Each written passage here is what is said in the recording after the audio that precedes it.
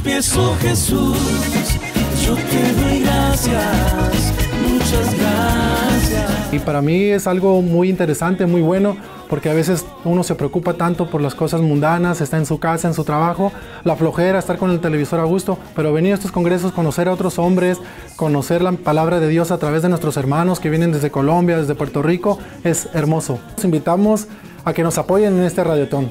Sí, necesitamos personas como tú, que me estás escuchando, que me estás viendo, que nos apoyes.